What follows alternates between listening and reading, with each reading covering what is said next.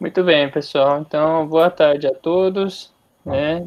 Então, a gente está aqui reunido de forma remota é, para assistir a defesa de dissertação de mestrado da minha orientanda, Ione Almeida da Silva. A Ione é, vai falar hoje para a gente sobre modelos cosmológicos analíticos via inflatons assimétricos.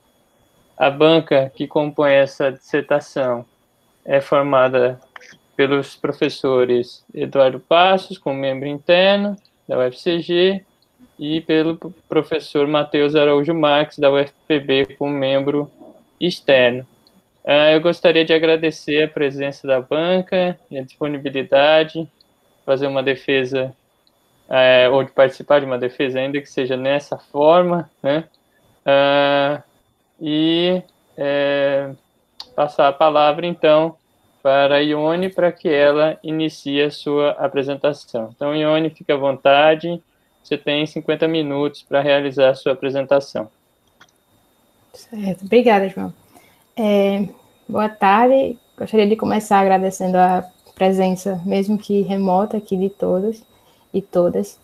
E gostaria de agradecer especialmente à banca por ter aceitado o convite e ao professor João por ter aceitado orientar este trabalho. Então, minha dissertação tem como título Modelos Cosmológicos Analíticos via Inflatons Assimétricos e para que um modelo cosmológico ele possa é, descrever o universo atual, é necessário que ele acomode os dados observacionais que dispomos hoje. Então, é, em 1998 foram realizadas medidas de distância e velocidade e afastamento de supernovas por esses dois grupos de pesquisa, e eles constataram que o universo está em fase de expansão acelerada. É a fonte dessa expansão desconhecida e foi denominada de energia escura. Então, a teoria da relatividade geral, ela, ela propõe descrever essa, essa energia escura pela constante cosmológica, representada pela letra grega lambda, e ela é representada por uma, uma componente de pressão, desculpa, uma componente de pressão negativa. No entanto, esse modelo é, descrito por essa constante cosmológica, ela vai apresentar algumas inconsistências nas quais podemos citar é, a divergência de 120 ordens de grandeza entre medidas via densidade de energia do vácuo e do valor esperado no ponto zero via teoria de quântica de campos, além do chamado pro, o problema da coincidência cósmica. Então, uma alternativa a esse modelo é o modelo phi-CDM, onde esse phi é um campo escalar, e é, trabalhar com esse phi, com esse campo escalar, vai nos, nos permitir é, encontrar soluções é, para cenários, é, cenários cosmológicos e também é, é então nossos objetivos é estudar o comportamento do universo, ancorando-se em campos escalares e em soluções inspiradas em defeitos topológicos, e além de trabalhar com modelos híbridos, estes é, nos permitirão gerar comportamentos não triviais para esses parâmetros cosmológicos, e nossa dissertação ela está dividida é, da seguinte forma, onde na primeira parte nós fazemos uma abordagem de teoria de campos para um único campo é, para um único campo escalar em uma e uma dimensões, onde essa dimensão vai ser uma espacial e outra temporal.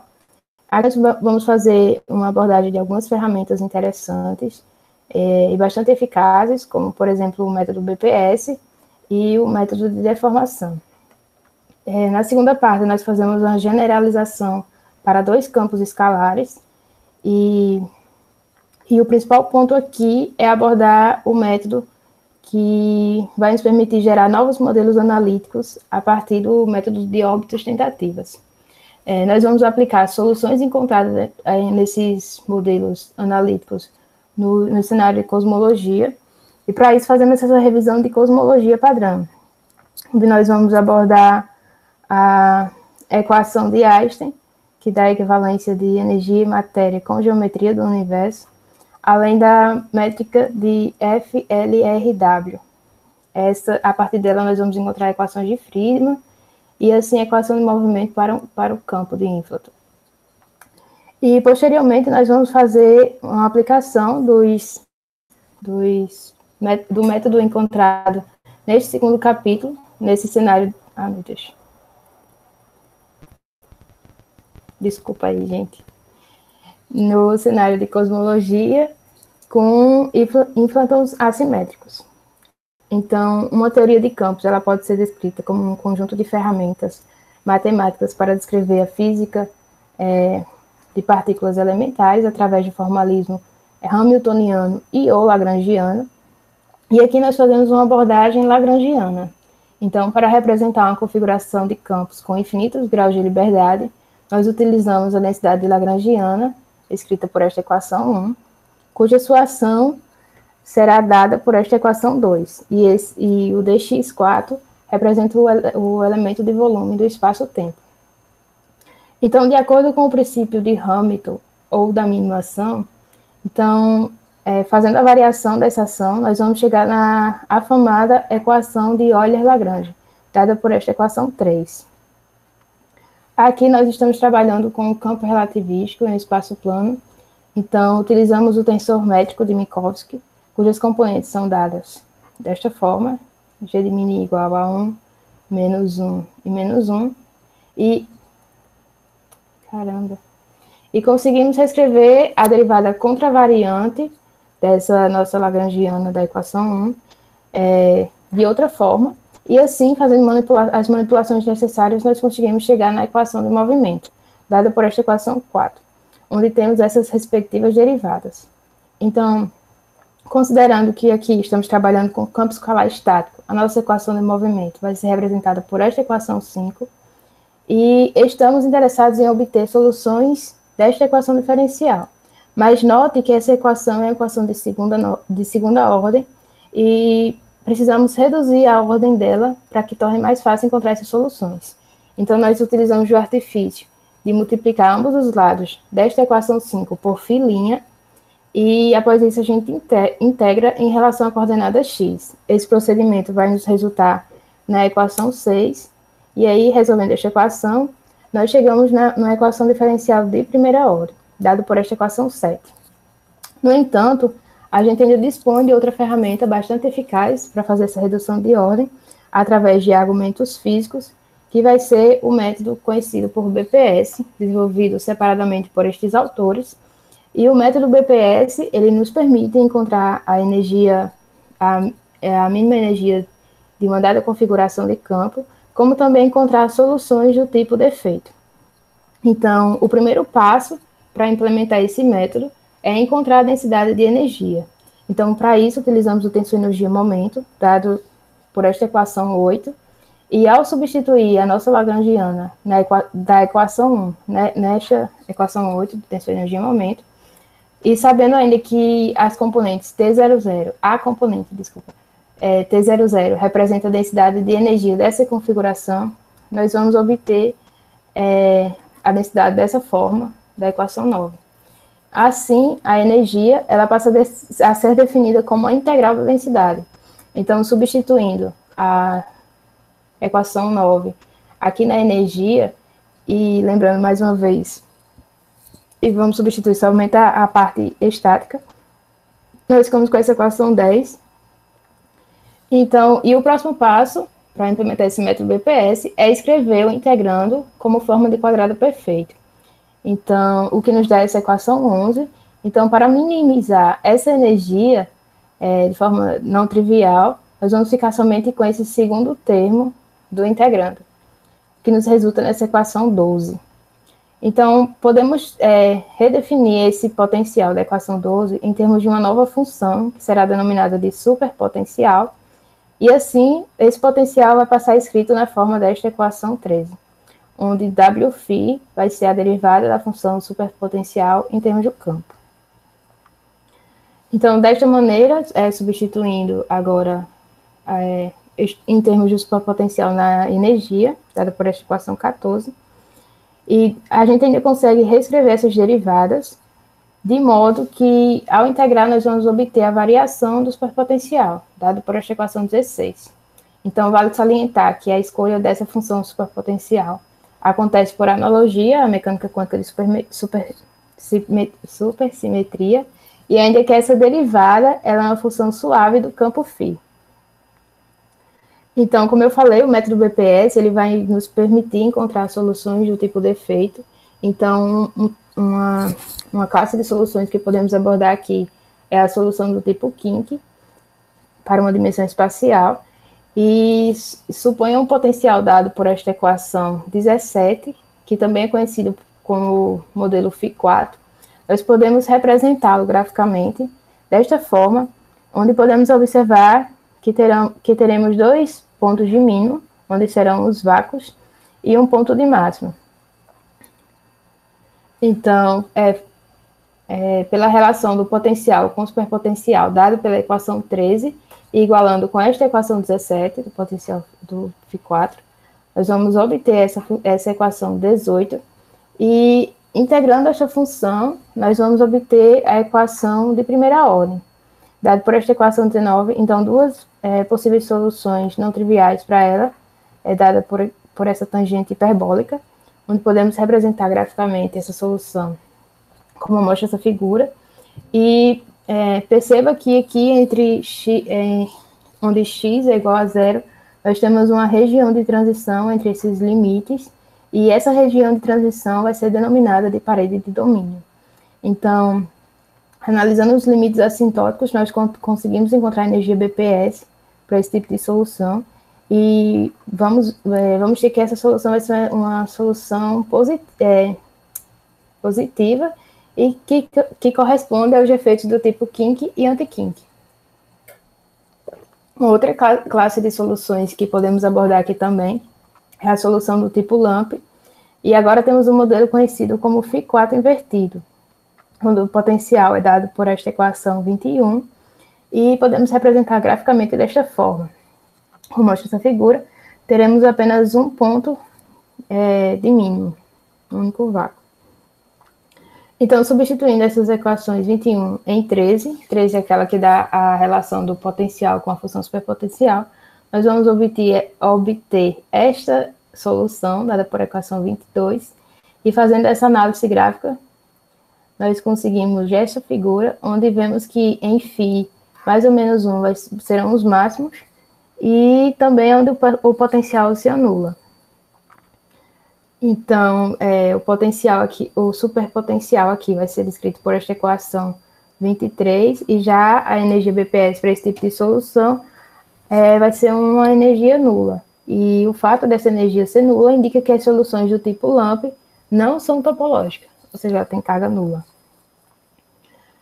É, outro método que podemos abordar aqui é o método de deformação, e ele vai nos permitir encontrar soluções do tipo BPS. Então, para mostrar como esse método funciona, é, primeiro a gente tem que, é, para efetivação desse método, a gente tem que ter um potencial é, bem definido a partir de um modelo analítico e uma função deformadora. Então, vamos considerar os modelos de, de um campo é, descritos por, por essas duas densidades de Lagrangiana, dada por a equação 26 e 27, e para ambas as densidades teremos as, as seguintes soluções estáticas, φ, um φ de x, e o Q, um Q de x, e suas respectivas equações de movimento, dada pelas equações 28 e 29. De modo que suas equações de primeira ordem serão dadas por a equação 30 e 31, e podemos ainda estabelecer um mapeamento entre esses dois modelos, como mostra essa equação 32. E conseguimos reescrever essa função deformadora de uma forma mais explícita, é, em termos das derivadas, e elevando ambos os lados dessa desse lado direito ao quadrado, nós vamos é, obter essa relação 34, onde podemos substituir as equações de primeira ordem aqui, que linha e filinha, e então vamos obter um, uma relação para o potencial deformado e o potencial não deformado, dado por esta equação 35. Então, as soluções para esse modelo pode ser dada a partir dessa relação de mapeamento. É, podemos agora é, generalizar essas ferramentas vistas é, para um único campo, agora pra, para dois campos escalares, e trabalhar com dois campos escalares nos vai, é, vai nos permitir tem uma maior diversidade de cenários.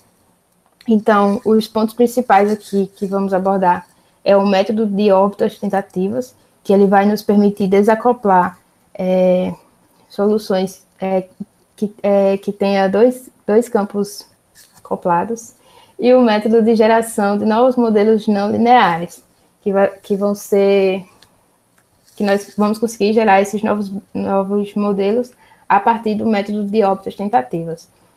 Então, sejam dois campos escalares reais, dados por φ, o φ de xt e que o que de xt. Nesse caso, a densidade lagrangiana será defini definida por esta equação 37. E seguindo passos análogos para um único campo, nós vamos obter estas equações de movimento, dadas pelas, pelas equações 38 e 39. Sendo que, para soluções estáticas, as equações de movimento de segunda ordem são definidas, são definidas pelas equações 40 e 41. E é, para calcular a energia agora, como, como, já vimos pelo método BPS, o primeiro passo é determinar a densidade de energia.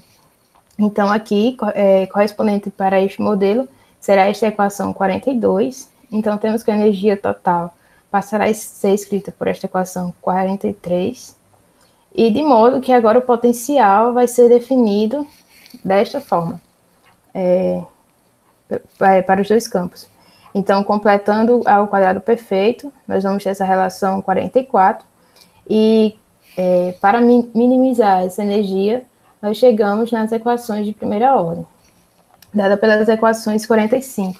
Então, agora substituindo essas equações de primeira ordem na energia, nós vamos obter que a energia vai ser, vai ser equivalente à variação da função superpotencial. Então, como eu já falei, esse método de órbitas tentativas, ele tem por objetivo desacoplar equações de movimento com dois campos escalares. Então, para que seja utilizada, é necessário seguir esses quatro passos onde o primeiro deles é, é selecionar um setor BPS, onde determinamos os mínimos do potencial, que serão os pontos críticos do superpotencial. O segundo passo, nós escolhemos uma órbita que envolva esses dois campos. Terceiro passo, testamos se a órbita satisfaz as equações diferenciais de primeira ordem. E, por último, desacoplamos as equações diferenciais de primeira ordem, utilizando a órbita, e após isso, integramos para obter as soluções. Então. Um minuto. É, agora é, vamos apresentar o método para encontrar esses defeitos assimétricos a partir de órbitas tentativas. Esse trabalho foi apresentado, é, esse método foi apresentado por Brito e Dutra, e, como eu falei, é baseado nesse método de órbitas, e é necessário que é, trabalhar com modelos que tenham potenciais compostos por dois ou mais mínimos degenerados. Então, primeiramente, vamos considerar uma horta, dada por esta equação 50, onde C será uma constante, e então, diferenciando essa equação de órbita, nós vamos ter essa equação 51. Lembrando que as equações diferenciais de primeira ordem para esse modelo são descritas desta forma aqui, e podemos combinar essa, essas duas equações diferenciais de primeira ordem a fim de obter esta equação 52. Então, observe que ao multiplicarmos essa equação 52 por um fator de integração, obtemos essa relação 53 e podemos fazer uma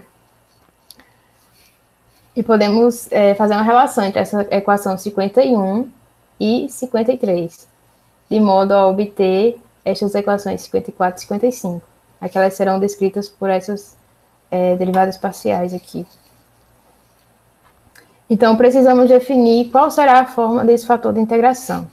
E para garantir que esse, essa diferencial seja exato, devemos é, seguir essa restrição. E, além disso, essa função EV ela deve ser unívoca. Assim, temos que essas derivadas elas devem comutar então, utilizando as equações 54 e 55 em 56, nós vamos obter esta relação apresentada na equação 57. Podemos é, reescrevê-la em termos de, de um logaritmo. E a partir dela, nós encontramos essa equação 59. Essa equação 59 ela vai estabelecer uma condição necessária para que exista é, óbitos de novos modelos. Então, nosso fator de integração ele vai ter essa cara aqui. Então, esse daqui, essa daqui é a metodologia para implementar implementar esse método, e aí a gente já pode é, gerar novos modelos não lineares. Então, o primeiro passo, é, a gente vai considerar esse seguinte ansatz da, é, para a fórmula do superpotencial, dado por, é, por esta equação 61, e após isso a gente vai tomar as derivadas a respeito do campo φ e Qi, que vai nos resultar nestas, nesse conjunto de equações de 61 a 65, e após isso, vamos substituir essas derivadas na equação 59. Nesta equação 59. Então, o que nos vai nos dar essa relação 66, e ao analisar os coeficientes desta equação, podemos verificar que alguns termos serão nulos, e poderemos, pode, a gente também pode estabelecer esses vínculos dados pela equação 67, de modo que encontramos quem será o fator de, o fator de integração. Será dado por φ a menos 2, como mostra a equação 68. Então, esses resultados vão nos permitir escrever o superpotencial, como mostra essa equação 69, e realizando novamente as derivadas, como mostra da, da equação 71 a 74, nós podemos reescrever o potencial aliás, escrever o potencial, cuja forma será dada por esta equação 70. Então, ao, ao serem substituídas essas derivadas nas equações 54 e 55, nós vamos obter é, essa diferencial dada por esta equação 77, e integrando, nós vamos obter a equação de órbita, que podemos reescrever ainda, como mostra a equação 79, e agora, é, por conveniência, nós vamos ainda redefinir alguns desses coeficientes. Então, vamos chamar A de 1 igual a menos A de 3, 1 vai ser igual a 1, e o A de 3, 0 a menos beta sobre 3. Então, a nossa fu é, função superpotencial poderá ser, é, ser escrita agora só em termos do, dos campos φ e e de modo que suas equações diferenciais de primeira ordem vão corresponder essas equações 81 e 82. O potencial, então, vai ser escrito para esta equação 73. E temos que a condição de vácuo do potencial, para que, o, que o, o, o potencial seja nulo, implica nesse conjunto de mínimos, dado por esta equação 84. Então, ao substituir esse conjunto de mínimos na equação de órbita, é, podemos verificar que ela é satisfeita. Aqui nós vamos chamar esse, esse último termo, do outro lado da igualdade, de um C, não constante, e B será um, um parâmetro livre. Então, a partir dessa relação 85, nós podemos colocar aqui o campo Q em evidência e determinar esta equação 86. É, substituindo esse último resultado na equação de primeira ordem, então substituindo esta equação 86 nesta equação de primeira ordem, nós vamos conseguir encontrar essa solução analítica para o φ de x. E substituindo essa, esse φ de x nesta equação 86, nós vamos conseguir encontrar a solução para o φ de x, cuja sua forma explícita é dada por esta segunda equação. Aqui nós vamos é, fazer um esboço do gráfico para o campo x. E note que a gente consegue, essa linha tracejada vermelha, gerar uma solução do tipo LAMP com, com platô. É, vale ressaltar que, que esse LAMP com platô, ele vai aparecer é, graças à a, a escolha desses, desses parâmetros aqui, para B. Caramba b igual a 1.0001, porque se esse b fosse próximo de 2, daria um LAMP, é, um LAMP normal. E para a solução do tipo Q de x, nós vamos ter um kink duplo assimétrico. E justamente essa, essa assimetria aparece graças a, esse, a escolha desses parâmetros aqui. Então, é, é, tendo conhecimento desse, dessas soluções, nós podemos aplicá-la no contexto cosmológico. Para isso, fazemos essa revisão de cosmologia e temos que a teoria da relatividade, em meados de 1915, é, descreve, descreve que matéria e energia é capaz de deformar o espaço-tempo, assim gerando curvatura, e também o princípio cosmológico, que diz que o universo é homogêneo e isotrópico, e em qualquer direção que se olhe, o universo é mesmo, é, fazendo assim que a métrica que descreva ela seja invariante por, por rotação. E a métrica que vai descrever esse universo homogêneo isotrópico vai ser a métrica de Friedman, Lamaitre e Roberto Walker. E a partir dessa métrica, é, nós conseguimos escrever as equações de Friedman, como também a equação é, de um fluido cosmológico, equação de estado, e assim conseguimos escrever a equação de movimento para o campo de Inflaton. É, essa equação de movimento vai ser de segunda ordem, então utilizamos aqui o formalismo de primeira ordem para reduzir a ordem desta equação e tornar mais fácil encontrar soluções para os, os parâmetros cosmológicos. Então, partindo de uma ação de campo, do campo escalar, dada por esta equação 87, e aplicando o, a, o princípio variacional nesta ação, nós vamos resultar nessas equações, nessa equação 88, que ela pode ser escrita também como mostra essa equação 89. Esse conjunto de equações é conhecido como equações de campo de Einstein, e ela mostra uma relação de geometria de um lado e do outro é, matéria energia, descrita pelo tensor energia-momento. Então, para a descrição do universo homogêneo e isotrópico, nós temos o, o elemento de linha que define a métrica de FLRW, como mostra essa equação 90, onde esse A de T é denominado de fator de escala e o termo kappa é uma constante de curvatura, onde esse termo ele pode assumir os valores positivo, negativo ou nulo. E aqui nós vamos utilizar kappa como sendo igual a zero. Então, como eu falei, o que vai, o objeto responsável por descrever matéria e energia do universo vai ser tensor energia-momento, então, podemos escrever esse tensor para um fluido perfeito, como mostra. Essa componente T de mini é igual a ρ menos P menos P menos P, relacionando então o tensor energia-momento com a, com a métrica de FLRW, temos que suas componentes correspondem a esta equação 91. Então, das equações de Einstein, constatamos que, que a componente G de 00 vai nos resultar na primeira equação de Friedman, onde temos uma relação do fator de escala com a densidade.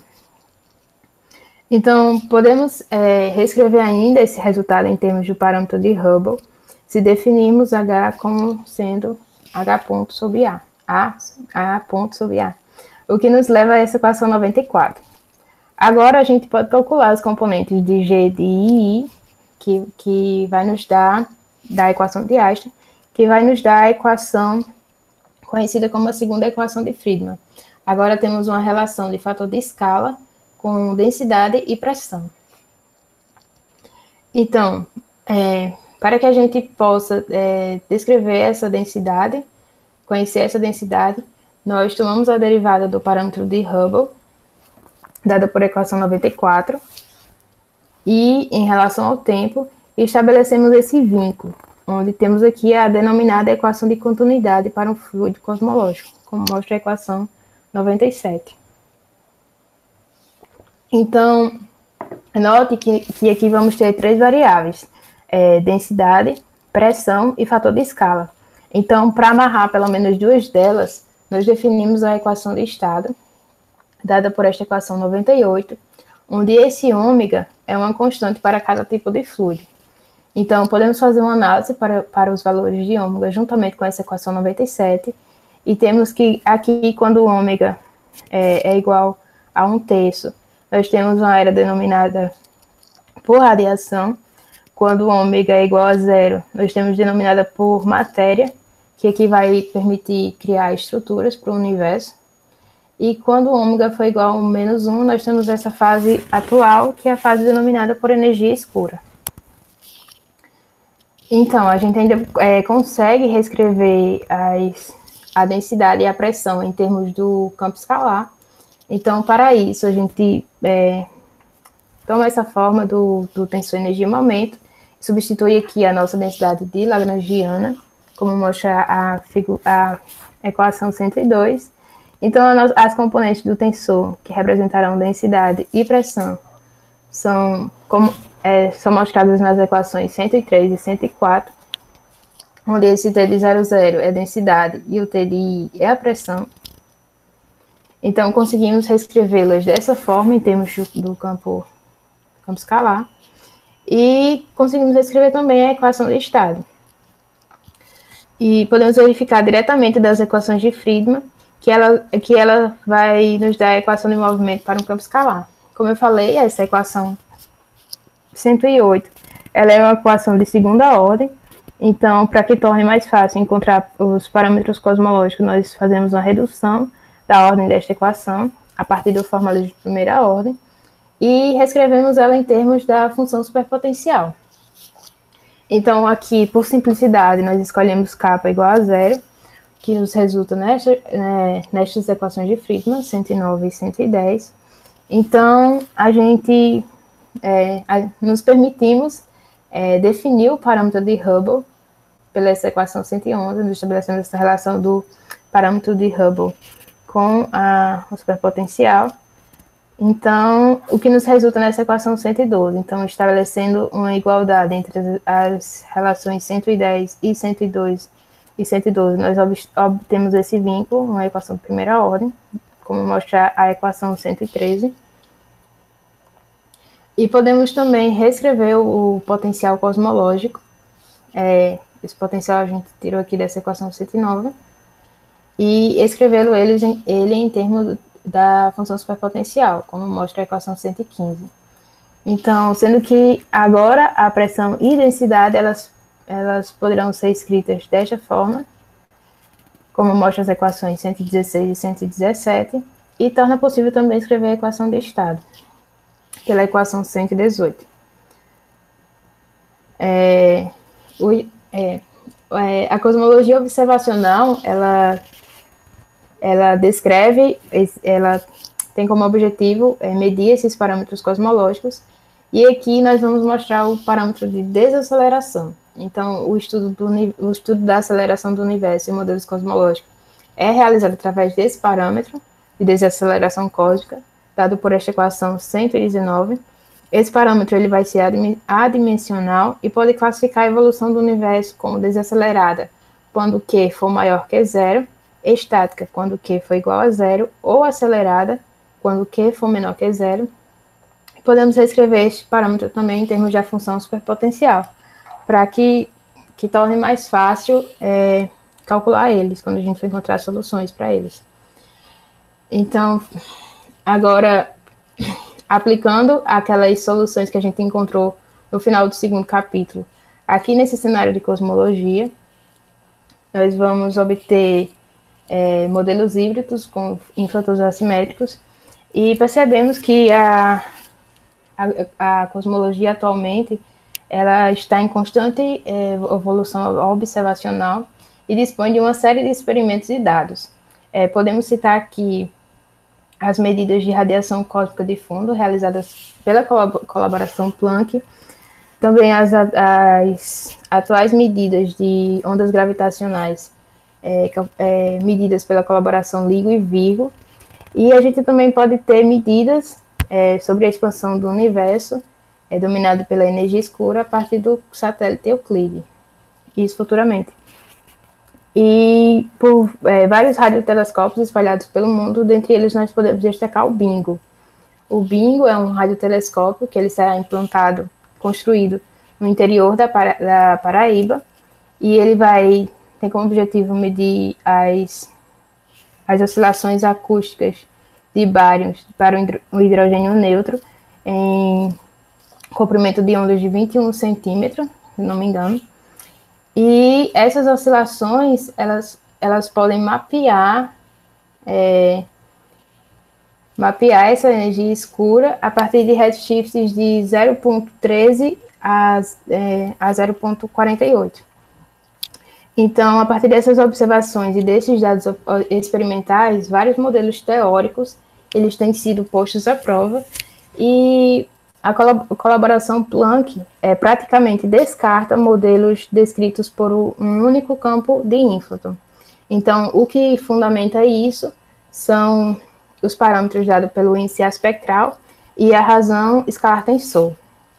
Esses parâmetros eles são medidos a partir de densidades do, do universo, de flutuação, flutuações de densidade do universo, e é, podemos. Só um minuto. E podemos verificar nesse trabalho aqui de Ellis que, é, como eu falei, esses modelos descritos por um único campo eles estão sendo descartados. Então, nessa linha preta contínua, a gente tem um modelo descrito por um único, é, único campo, por um único potencial do tipo Clay Gordon. E podemos observar que ele está no limiar dos valores é, permitidos, esperados pelo o índice espectral e a razão escalar tensor. Então, essas bolinhas em azuis, elas representam é, o, agora um modelo descrito por dois, é, dois modelos do tipo Clay Gordon, e podemos verificar, podemos verificar que há uma relação bem melhor entre dados observacionais e dados teóricos. Então, essa convergência pode melhorar se utilizarmos três campos, né? Aqui, esses pontinhos rosa, rosa representa é, três campos de três é, modelos descritos por três campos do tipo Clay Gordon e a gente tem uma que esses pontos ele, eles estão na região bem favorecida pelos dados obtidos pela colaboração Planck. E isso nos motivou a, a fazer essa pesquisa com modelos com modelos híbridos é, composto por dois campos é, não lineares e eu acho que é isso. Então, é, agora fazendo essa abordagem de Lagrangiana para dois campos escalares, a densidade de Lagrangiana, como a gente viu para esses dois campos, é dada por esta equação 121, onde esses campos φ são do tipo de Inflaton, e é, a, é, substituindo essa Lagrangiana na, na ação de Einstein-Hilbert e fazendo a minimização da, da ação, nos vai, é, vai nos resultar nessas equações de Friedman, dadas pelas, pelas equações 122 e 123, e a, a equação de estado vai possuir agora esta forma, em termos de dois campos. As equações de, de, movimento para os campos φ e Qi são dadas por esta, essas equações 125 e 126, e podemos estabelecer, a partir do formalismo de primeira ordem, que o parâmetro de Hubble é, vai ser definido por esta equação 127. O superpotencial tem dependência dos dois campos. Então, ao ser substituído essa relação 127 na equação 123, nós vamos obter essa equação 128 e assim as equações de primeira ordem serão dadas por estas equações 129 e 130. A gente também consegue reescrever o potencial cosmológico é, para esse modelo de dois campos, dado por esta equação 131, e as componentes de densidade é, e pressão do tensionador de momento possuem as seguintes formas, é, como mostra as equações 132 e 133. E já o parâmetro de aceleração para esse tipo de modelo é dado por esta equação 134. E a gente já pode fazer aplicações é, nesses parâmetros cosmológicos. Então, vamos considerar as soluções do tipo de efeitos para o campo FIC apresentadas no final do terceiro capítulo, que foi naquele capítulo que nós abordamos da teoria para dois campos escalares, e reescrever essas, essas expressões substituindo o x por um t menos um t0 que vai nos resultar nessas duas equações, essas duas soluções, e fazendo um esboço do gráfico, é, fazendo esboço do gráfico, nós vamos ter é, o comportamento de LAMP com platô e o kink assimétrico. Então, essas soluções elas serão substituídas no, no superpotencial, é, nessa, como mostra essa equação 135, onde esse C0 será uma constante e será de, é, determinada a partir dos parâmetros cosmológicos. É, a partir desse superpotencial, a gente, é, a gente pode definir o parâmetro de Hubble, a, o parâmetro de desaceleração e equação de estado. A gente pode fazer uma análise desses parâmetros.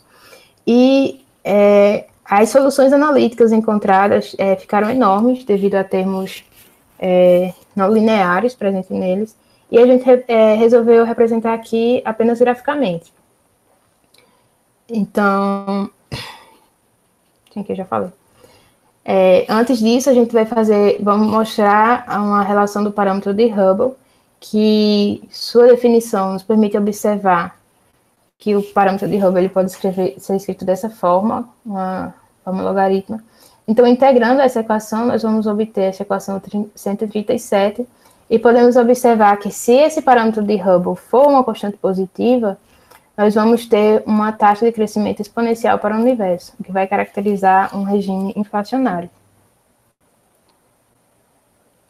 Então, agora a gente pode fazer análise desses parâmetros. Então, é, nessa linha azul, nós vemos que H ele tem duas, é, duas faixas, onde eles são aproximadamente uma constante positiva, aqui de 0 a 5 no tempo, para tempos remotos, e posteriormente para tempos futuros. Já essa linha tracejada em vermelho, ela vai nos mostrar é, três pontos onde esse H vai ser aproximadamente constante e vai nos representar cenários inflacionários. É, nós podemos é, mostrar isso melhor a partir do gráfico do parâmetro de desaceleração e vale salientar que que essa forma que para como mostra essa linha essa linha tracejada se dá a partir de soluções do, de ínflatos assimétricos. Então, agora para é, parâmetro de desaceleração, aqui na linha azul, a gente tem para tempos remotos uma aceleração, aqui ele começa em menos 1, e depois ele desacelera é, chegando em aproximadamente 1. É, note que, que esse parâmetro está entre os limites permitidos, entre 1 e menos 1. E aqui, onde ele é aproximadamente zero, é onde se dá a formação de estruturas no universo. Então, é, depois ele volta a, a acelerar novamente, que é o esperado a partir de dados observacionais, né? Então, é, nessa linha vermelha, a gente conseguiu um modelo em que ele, em tempos remotos, ele estava acelerado, ele causa uma pequena desaceleração, volta a acelerar novamente, aqui entre aproximadamente 5 e 10, e ele volta a desacelerar. E esse tipo de, de comportamento pode ser medido a, a, através de medidas de expansão do universo, onde tem, temos o domínio de energia escura. É, vale salientar, é, novamente, que esse comportamento se dá justamente pela escolha desses, desses parâmetros, de B e beta. E por último, nós podemos mostrar o parâmetro para a equação de estado, onde nessa linha azul nós temos, é, lembrando que quando é, do, é, dominado por um terço é a área de radiação, zero é onde nos permite criar estrutura no universo, e menos um a era de energia escura. Então, é, após esses tempos remotos, temos aqui que esse gráfico ele aponta para uma era de radiação, que era para tempos primórdios, né? É, depois ele volta para a era da energia escura. Já a linha tracejada, ela tem um comportamento semelhante, no entanto, ela vai aparecer essa essa lombadinha aqui, né? Essa alteração. E é, isso no, nos mostra que esse tipo, para esse tipo de modelo, é, onde temos aqui uma descrição da energia escura em menos um, e aí a gente pode mapear é, futuramente se essa energia escura ela será constante ou não, se ela vai ter, se vamos ter modelos que vamos apresentar é, observacionalmente esse tipo de comportamento para o universo. Então, é, é, como eu já falei, esse, esse tipo de alterações se deram a partir dessas, dessas assimetrias, desse kink duplo e LAMP com platô. E aqui a gente, nas conclusões, nós vamos mostrar que, que nesse trabalho nós conseguimos reunir as ideias, é, base para a compreensão de como podemos representar a dinâmica do campo escalar e abordamos determinadas soluções do tipo defeito topológico a partir de equações diferenciais não lineares. Nós mostramos é, métodos eficazes para encontrar essas, essas soluções do tipo defeito. Discorremos também sobre o tratamento de modelos compostos por dois campos escalares, onde mostramos métodos que nos permitem desacoplar equações com dois campos por fim, é, por fim não, a gente também é, fez essa abordagem de cosmologia no contexto de relatividade geral, onde conseguimos é, gerar esses parâmetros, mostrar esses parâmetros é, com facilidade a partir do formalismo de primeira ordem. E agora, por fim, conseguimos gerar diversos parâmetros cosmológicos que corroboram com as diferentes eras de evolução do universo. Então, temos como perspectivas estudar o cálculo perturbativos com, é, para modelos inflacionários híbridos, a fim de gerar parâmetros cosmológicos mais complexos, e também realizar aplicações é, dessas soluções em teorias de gravitação modificada, tais como teorias FTR, de RT, e teorias de quebra-simetria de Lorentz, e também teorias com constante cosmológica com dependência temporal. Aqui está algumas das referências que eu utilizei nessa apresentação. E é isso. Muito obrigada. Muito bem.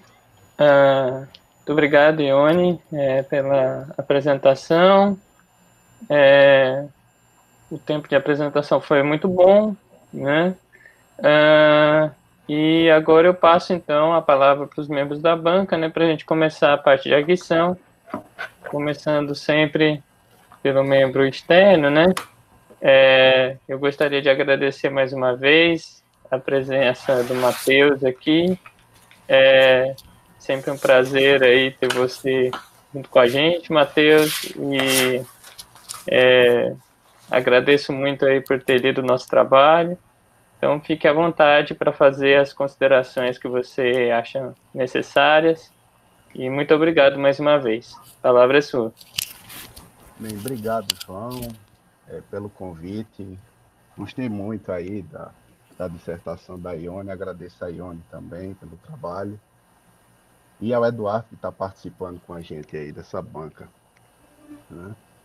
É, Ione, eu gostei muito da sua dissertação. Acho que ela tem um assunto muito interessante e atual, né? E, no geral, acho que ela está muito boa.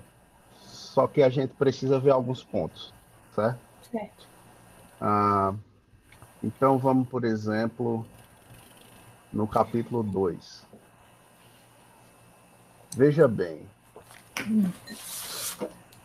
Acredito que a definição do, do tensor métrico da, da equação 2.4 esteja com sinal trocado. Por quê? Sim. Você, usar, você pode usar desse jeito, mas aí você teria que botar um sinal negativo na 2.1 no termo dinâmico, você teria que modificar a definição lá do, do, do tensor energia momento que você escreveu. Então, acho que tem algum erro aqui, tá? Então, é. veja, verifique isso, certo? Tá. Ok. E no, na seção 2.1, eu hum. vejo que você para fazer esse formalismo de primeira ordem, né? Você pegou a equação de movimento e usou quadratura. Só que da, da equação 2.11 para 2.12, tem uma discussão aí importante que eu acho que faltou. Uhum. Qual é? Tem uma constante de integração. Ah, constante, é. Né? Sim, sim. Então, isso é importante. Você tem que explicar o que sim. foi que aconteceu com essa constante. Tá. Tá? Certo. Colocar as condições de contorno das soluções que você quer estudar, certo? Isso está faltando, eu acho. Tá? Tá. Ah, outro ponto, veja bem. Ah, nas equações 2.18 e 2.19, uhum. você põe aí duas duas componentes, duas somas, né? Dois termos da energia que você usou, reescreveu da densidade de energia original, né? Certo. Mas veja bem, a menos primeiro que na 2.19 tem um quadrado aí que não deveria ter, né? Uhum. Isso aí, tem esse sprint. Certo. Mas isso é bobagem. Uh, o, o, o, que eu quero dizer é, acima da 2.18 você diz é igual a 1, mas é 2. E hum. aí você, logo depois da 2.19, diz, para minimizarmos a energia do sistema, temos que ou é 1 ou é 2 deverão ser nulas. Isso é verdade se você disser antes que tanto é 1 quanto é 2 são não negativas. Hum. Certo? Porque é 2, se é 2 for negativa, quando você somar uma coisa positiva com a negativa, isso, isso pode dar vários valores. Então você tem que fazer uma discussãozinha aí tá? Certo. Eu botei aqui no, eu, eu preparei no PDF, eu vou te mandar essas observações para você, para você ir seguindo, uhum. tá? Não se preocupa não. E a outra coisa que eu quero te falar é o seguinte, que é na seção 2.2.2. Uhum. Porque é o seguinte, LUMP ele não é uma solução BPS real, vamos dizer assim. Você pode escrever como um W, mas ele é um W fake, é falso. Por quê? Vou te dizer por quê. Quando você escreve que o potencial é um meio de W φ quadrado, você está dizendo que ele é não negativo. Hum. Certo? E no loop isso não é verdade para todo potencial. Isso só é verdade onde a solução existe né? Então, eu não sei se seria bom deixar essa seção 2.2.2 dentro desse contexto de BPS, por causa disso que eu estou te dizendo, uhum. tá? Ah, e isso é tão verdade, veja bem, você botou na, na equação 2.43 e 2.44, né, você botou essa energia BPS, Uhum. Mas qualquer lump, qualquer lump, se você calcular o delta W, ele vai dar zero. Qualquer um. Porque ele não vai, não sai do mínimo e volta para ele. É. Então a diferença vai dar zero, tá? Talvez, não sei se é isso que você quis dizer, é que você pode definir a carga topológica em termos da energia com esse W aí, em termos desse W, essa energia BPS. Hum. Não sei se você quis dizer de alguma maneira aí sobre o fato de a solução ter uma carga topológica nula está associada a esse delta W ser zero, mas isso, esse zero não é energia da solução. Se você tá. calcular a densidade de energia, densidade de energia dela integral, você vai ver que não vai dar zero. Certo? Uhum. Então tem que ajeitar essa parte aí. Ou seja, certo. essas equações 2.43 para 2.44, talvez você possa botar no contexto de carga topológica. Certo? Não de uhum. energia mesmo. Ok? Tá bom. E outra coisa, na figura 4, você põe solução do tá. tipo LAMP e anti-LAMP. Tem um probleminha nisso. Porque o, o anti, a solução anti, é trocar hum. x por menos x. Você consegue ver isso pelas equações de primeira ordem. Se você trocar x por menos x no LAMP, é a mesma coisa. Então, o anti-LAMP e o LAMP são iguais. Essa solução de linha tracejada, ela na verdade não é um antilamp. Ela é o lamp de outro intervalo do potencial, de outro setor do potencial. Tá certo? São dois setores distintos. Uhum. Então, uma não é o antilamp da outra. Entende? Entendi. Porque se você. Uma, um, por exemplo, a solução é, contínua, ela vai pegar a parte positiva do potencial. Se a gente trocar x por menos x, continua a mesma coisa. Então, o antilamp e o lamp são sempre iguais. A solução de linha tracejada ela vai para o setor negativo do potencial. Uhum. Tá? Então, tem que ajeitar esse, esses detalhes aí. Certo. Ah, deixa eu ver o que eu fiz mais de anotações aqui um instante.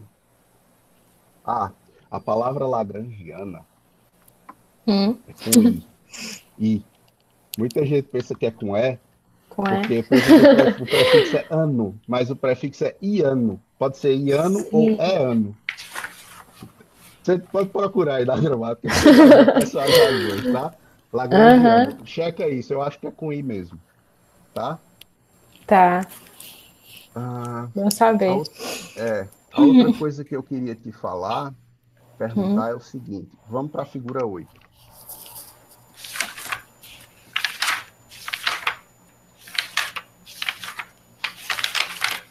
Hum. A solução em azul, ela é um lamp usual, né? Uhum. E parece que quando você vai diminuindo esse B, ela vai ficando mais alta e vai ganhando é. um platôzinho. Isso. Existe algum limite em que esse platô fique infinitamente grande, ou seja, vamos dizer que esse, esse lamp vire um quinto? Licença, é, teria como colocar a imagem no, no na apresentação? Hum. Eu acho que você tem aí, né, né Dione? Aí, eu tenho, eu tenho. É, é. Aí na apresentação você tem. Pessoal, ver.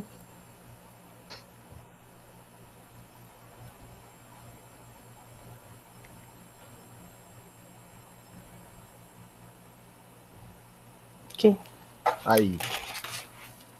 Porque eu estava pensando aqui, hum. isso poderia ser uma, uma forma, eventualmente, de compactificar sair de um lamp e ir para um kink, um kink compacto, sabe? Hum. Half compacto, né? Half compacto seria.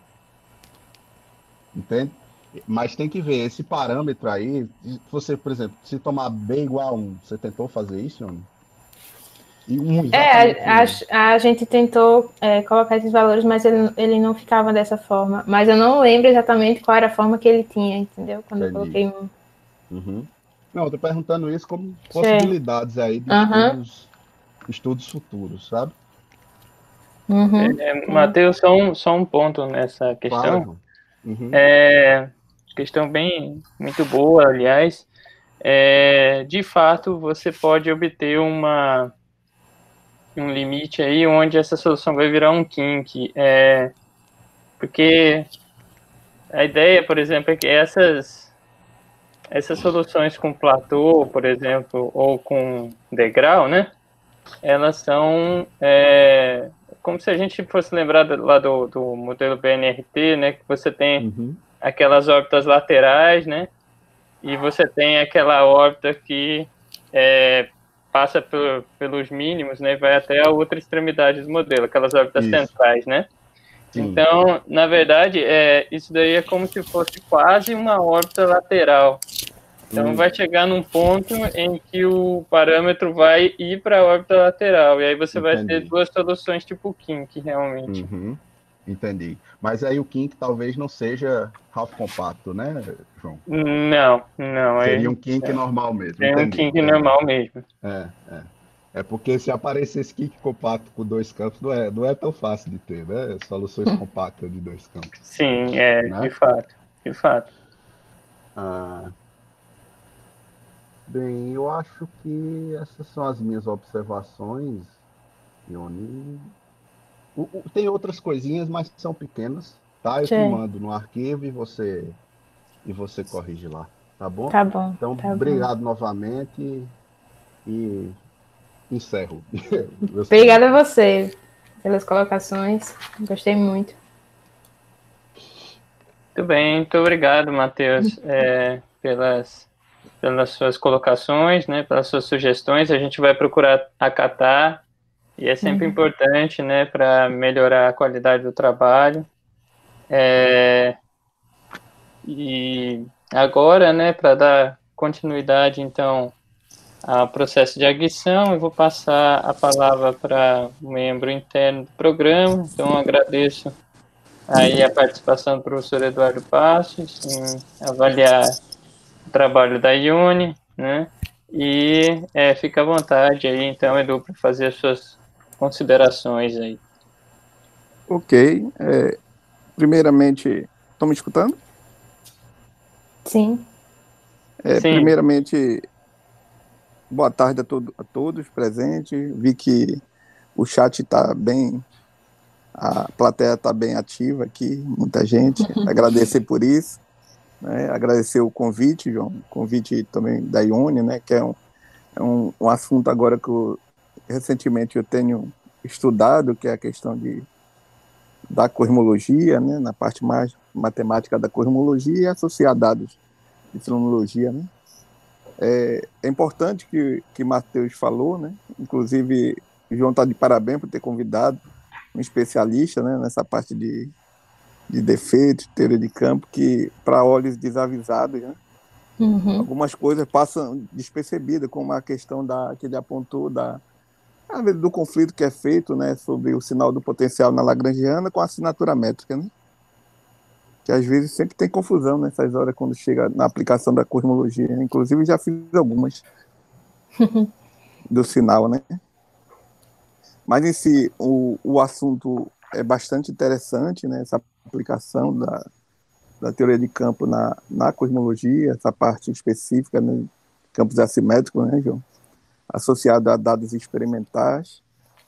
Isso é interessante e atual, como o Matheus já falou, né?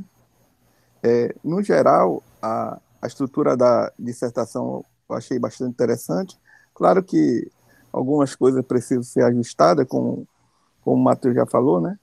E também, nesse sentido, eu, eu li no, na, no caminho também de apontar algumas coisas, né? Grande parte uhum. o Matheus já apontou, restou pouca coisa para apontar. Ok? É, na, na, estrutura da, da dissertação, seria interessante você é, você evitar um pouco de usar o ponto parágrafo. Porque às vezes o ponto parágrafo ele para, ele, de fato, ele dá uma pausa na ideia que está fluindo, né? Na hum. pontuação da equação para o texto. Então seria interessante você. Eu apontei vários aqui, eu, eu depois eu mando, que seria interessante usar ponto seguida, né? Para a ideia fluir que é interessante que a, a pontuação seja, seja usada, né? Para o texto ter mais fluência, embora eu não tenha, tive muita dificuldade de ler, né? Mas eu percebi que você pausa muito, né? Usando ponto parágrafo. Uhum. Tá ok? Certo. Ainda, ainda com respeito ao texto, né? É, gostaria também de falar de um ponto que é interessante é com respeito a, a algumas sentenças e alguns cálculos que precisam ser comentados né? na, na dissertação. Tem uma parte aqui que eu vi, por exemplo, das equações. Deixa eu colocar aqui a página. Um momentinho que eu tô, eu tô é. com outro. Só, só paciência aqui, só para eu localizar aqui.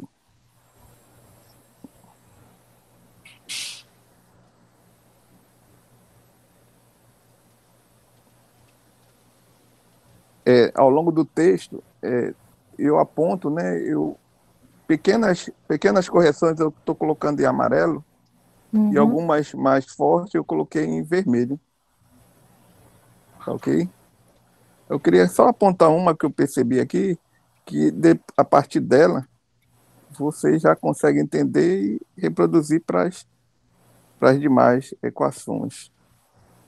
É saber se eu vou encontrar, né? Saber se eu vou encontrar aqui. João conta uma piada enquanto eu. Enquanto, eu, enquanto eu encontro, João.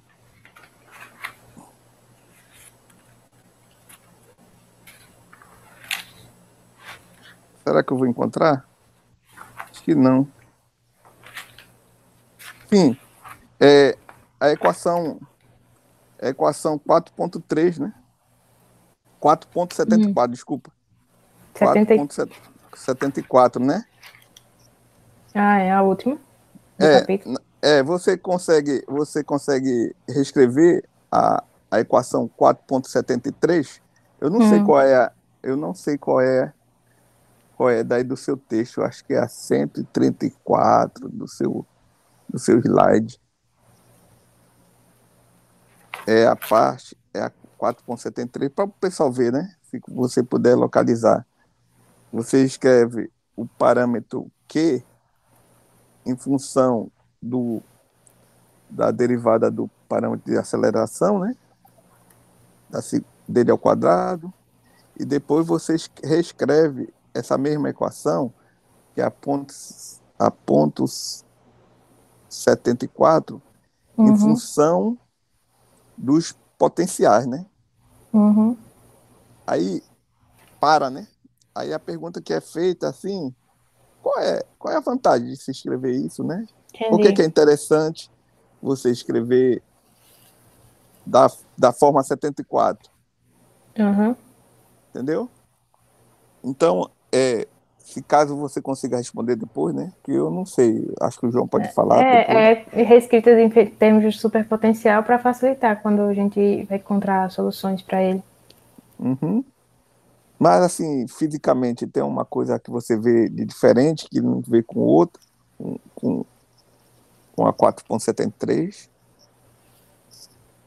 Não, assim, até onde eu sei, é, é mais para facilitar mesmo encontrar essas soluções. Certo. Mas eu acho que alguma coisa tem que ser dita. Uhum, aí para, certo. Para tá. e começa o, o capítulo 5, sabe? Uhum. Só, um, só um ponto aí, Edu. É, uhum. É, na verdade, tem um fator interessante, assim. É, uhum. Tem até um errinho aqui, eu acho, na, na equação no texto, e depois você dá uma checada nesse sinal aí do. É, que está em conflito com a equação do slide, tá? Uhum. Mas é, basicamente dá para ver uma característica interessante que é esse menos um aí, né? Ah, Sim. Que aparece, né? É, Sim. esse menos um. também eu acho que, bom, tem que dar uma checada aqui também.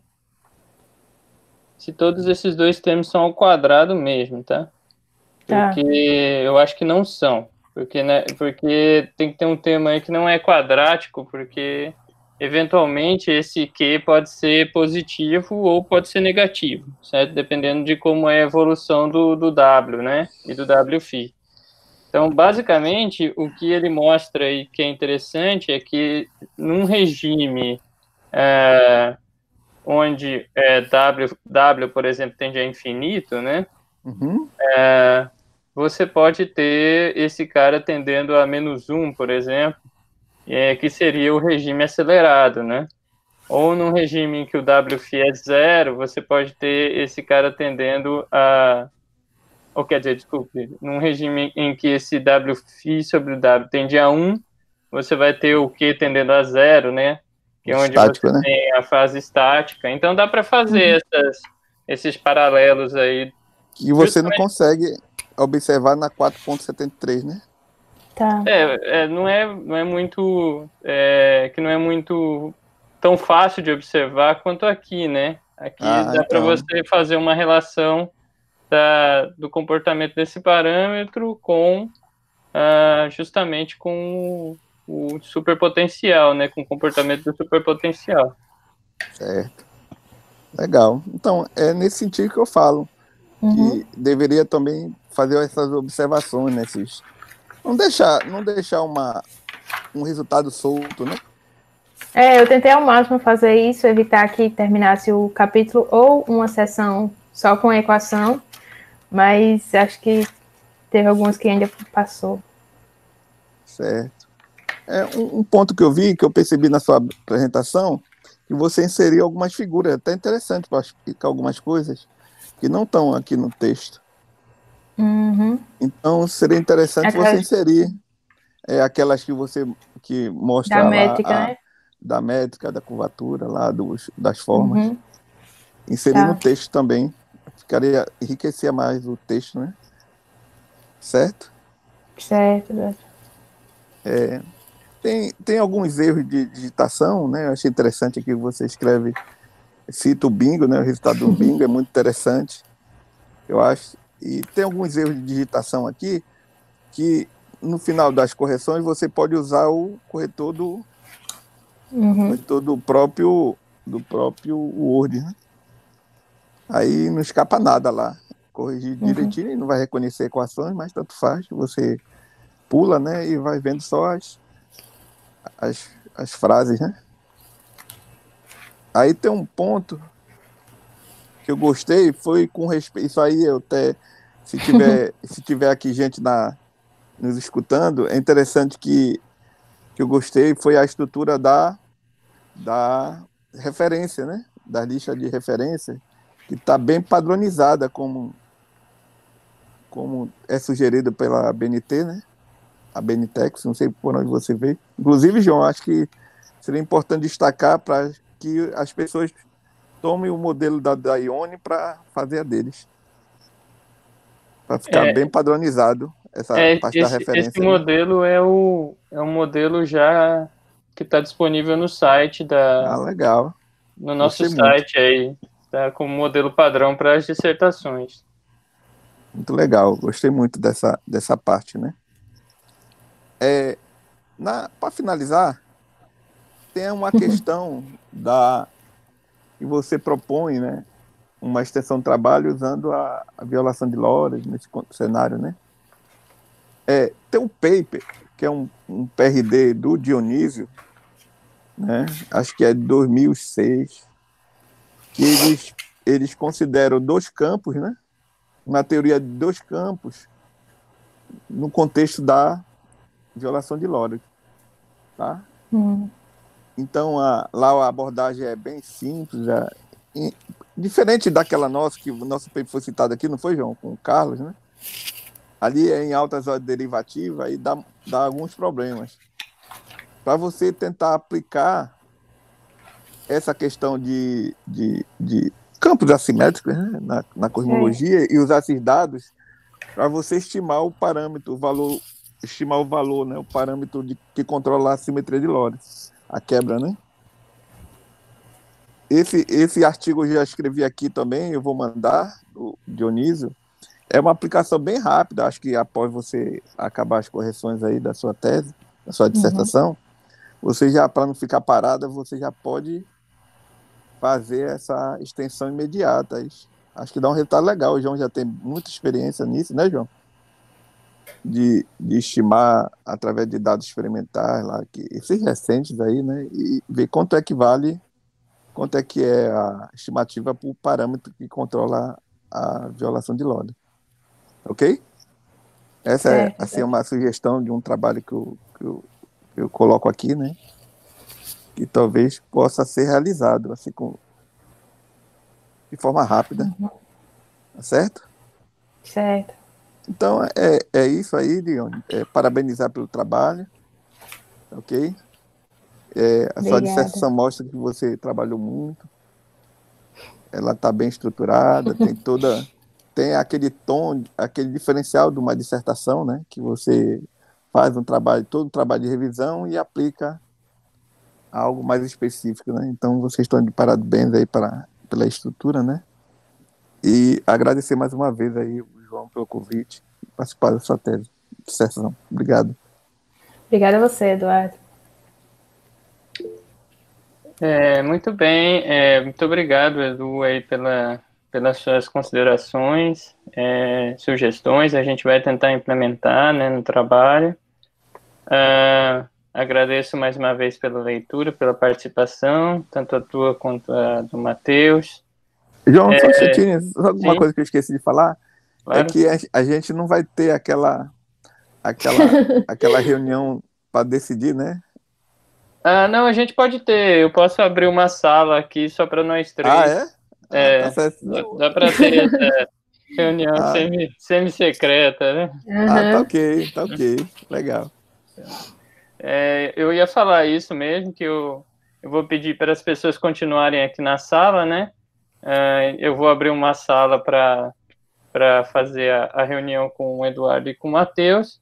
Uh, eu queria também agradecer, né, todo mundo que está aqui até agora assistindo a, a defesa. Se alguém quiser fazer algum comentário, é, tiver alguma pergunta também, fique à vontade tá, para fazer.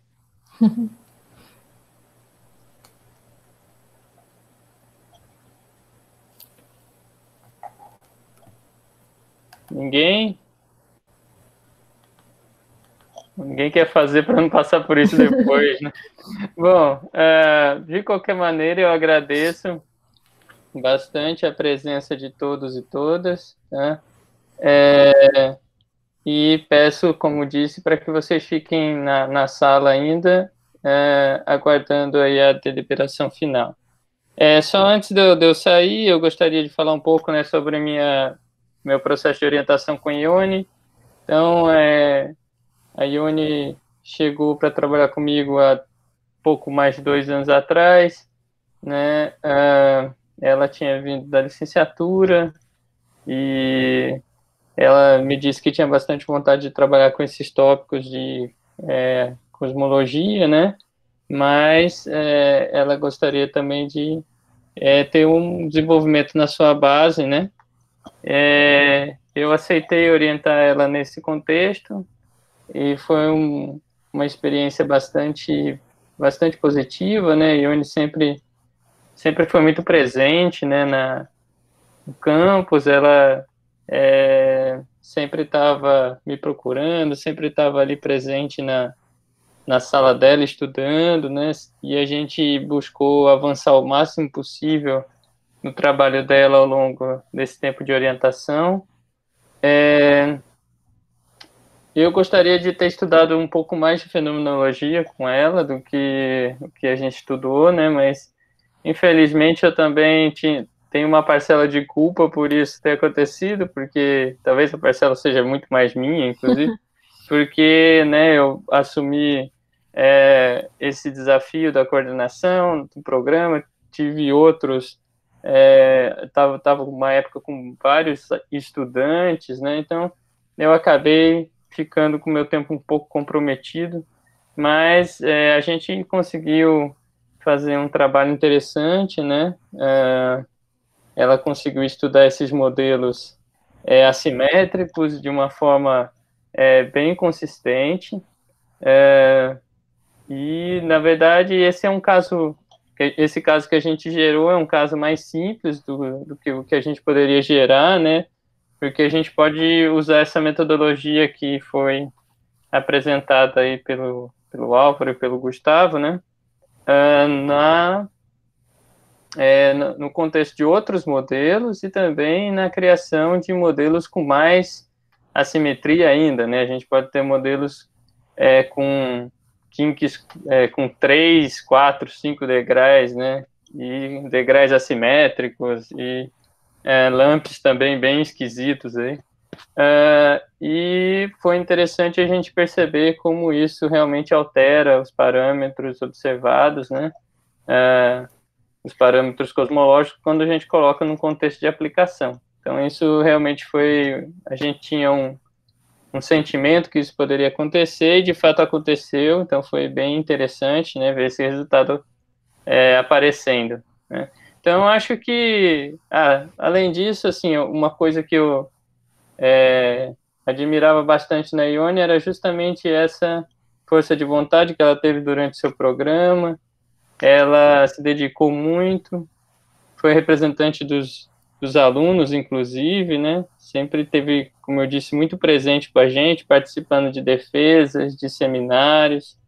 Então, ela está realmente de parabéns também, além do trabalho que ela fez, né, mas também pela postura que ela teve aí ao longo do seu mestrado, né, que é uma postura que a gente espera que nossos estudantes de fato tenham, aproveitem essa oportunidade. Então, desejo aí um sucesso para você e no seu futuro.